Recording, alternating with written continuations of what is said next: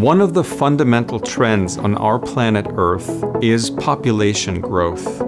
Much of this growth is happening in the developing world, and to support the growing population of humans requires a lot of resources water, food, and infrastructure, including housing and roads.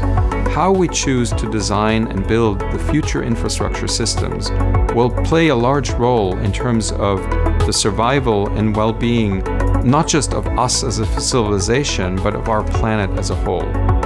Hello, I'm Olivier de Weck, and my research involves system engineering and system architecture for complex systems. The methods and tools that we cover in this course revolve around the idea of sustainable infrastructure systems. Hello, I'm Afreen Siddiqi.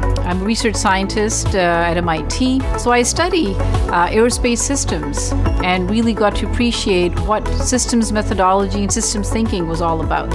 In this course, uh, we will explore systems theory as the basis for the analysis, development, and engineering of sustainable technological systems.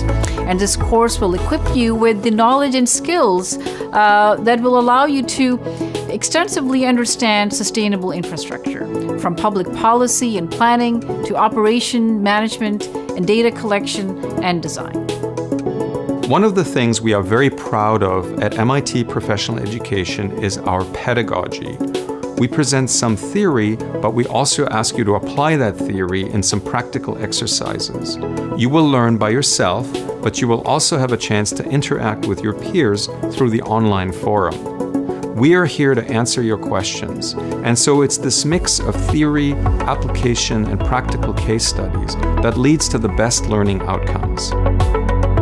In this course, we touch upon sustainable infrastructure that frankly touches across all sections of society and across all professions. So, professionals from a wide variety of industries uh, will benefit from this course uh, using hopefully the skills and knowledge uh, that they will gain from this course should impact their work as policymakers, uh, as engineers and technical professionals, as consultants, um, as financial leaders, and as business executives.